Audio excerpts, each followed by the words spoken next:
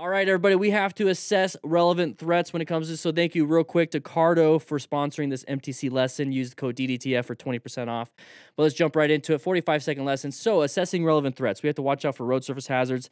Uh, any riders um, that are in the road with you with like a group ride, roadway users, that's where it is motorcycle riders uh, need to be vigilant. So yeah, you, you, guys can read this. The main thing here is that we're positioned for safety. We're locating hazardous situations. Now we have to understand if things are in front of us or around us are actually a threat.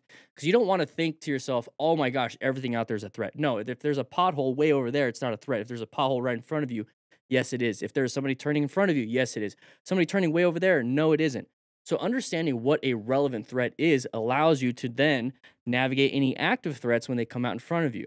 So it's very important that we're paying attention. And we only got two more seconds, with thank you, Cardo. Let's go and get right back to the crash reviews and let's watch this one.